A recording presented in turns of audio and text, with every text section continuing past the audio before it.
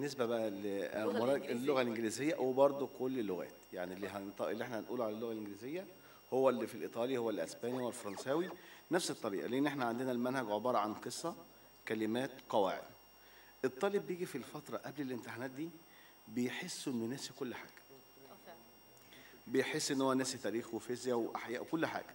ولكن هي المعلومة موجودة وبتسترجع وقت ما بتنشر. يعني هي المعلومه موجودة بالفعل ده عند اللي ذاكر يعني وبتسترجع وقت ما تنشر. إحنا هنقول لو هو هيراجع الإنجليزي.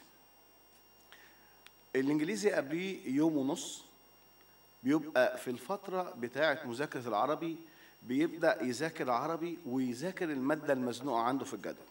يعني إحنا لو قلنا هيبدأ يذاكر من بكرة مثلا هو فاضل له حوالي 10 أيام تقريبا على الامتحان ناصر فاضل حوالي 10 أيام آه.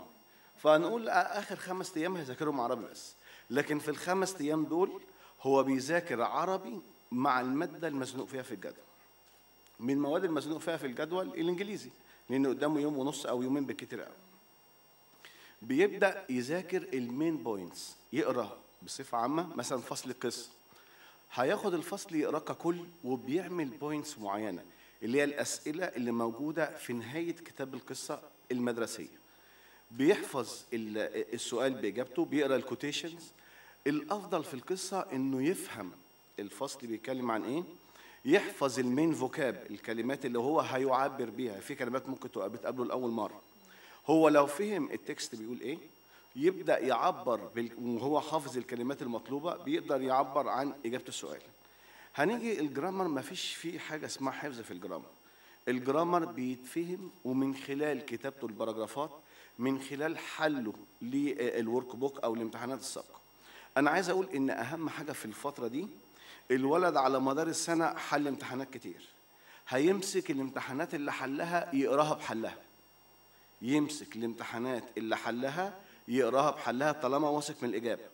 ويبدأ يحاول يشوف نسخ منها مش محلولة قبل كده.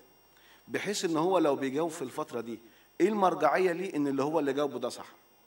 لازم يكون عنده مصدر واثق في إجابته. اختيار إيه اللي يضمنه ان الاختيار ده صح أو حل ال find the mistake ده صح؟ يبقى هو أول حاجة عنده كتاب ال workbook ال workbook ده ليه model answers موجودة على النت موجودة في موقع Longman يمسك ال workbook ده يقراه كله بإجابته ويبدأ تاني يحله من غير إجابات ويصحح لنفسه. الطالب النص نص في طلب يعني الطلبة طبعا مستويات. في طلبة شطار جدا ممكن يبدأ يحل ويصحح لنفسه. أنا بنصح الطالب المتوسط والأقل من المتوسط إن يمسك امتحانات مصر من 2011 ل 2015 اللي هو السنة دي السودان.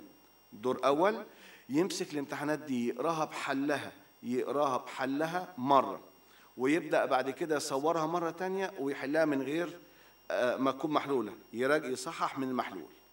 بالنسبة لل- للفوكاب ما فيش وقت إن هو يحفظ الكلمات بالكامل.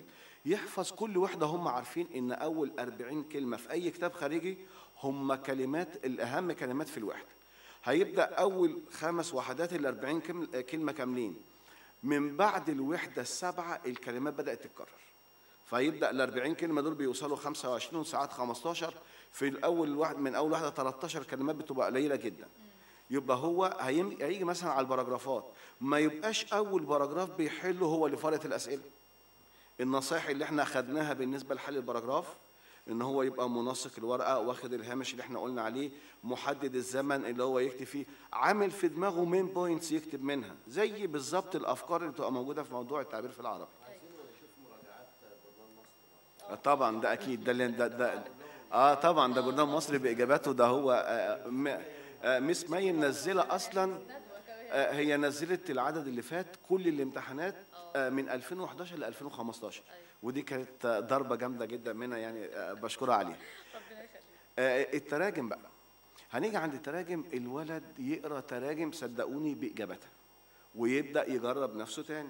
برضه الطالب المتفوق والتوبرز كلهم يبدأ يحل ويصحح من الحل الموجود. ولكن الطالب النص نص والأقل من نص نص أقل متوسط يعني يبدأ يقرأ الأسئلة بإجاباتها وما يقراش سؤال ويجاوبه سؤال. لا يقرأ حوالي 15 سؤال بإجابتهم وبعدين يبدأ يعمل تيست لنفسه. يبقى الفترة اللي جاية دي هي فترة حل امتحانات.